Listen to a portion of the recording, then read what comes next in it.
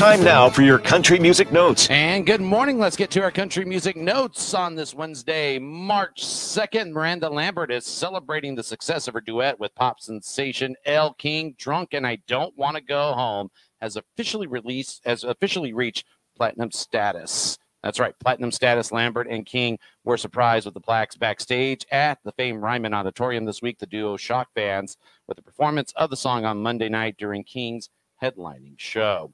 Eric Church could be planning a surprise show with Morgan Wallen. He took to Twitter yesterday morning, thanking Wallen for joining him on stage in Philadelphia last year.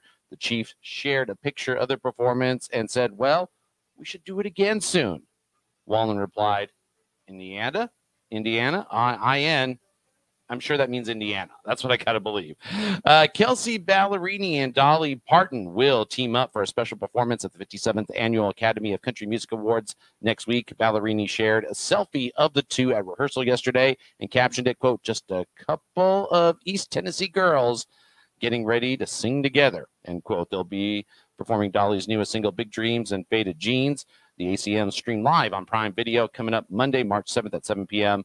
Central Standard Time. That'll be six o'clock Mountain Standard Time. And Jimmy Allen will join the cast of the current season of American Idol. He'll be a mentor. He'll coach alongside pop superstar Bebe Rexha. Season 20 of the reality singing competition premiered last Sunday on ABC, and the live rounds are expected to happen sometime in April. And that's your country music notes this morning with your country mornings 1039 KGRT.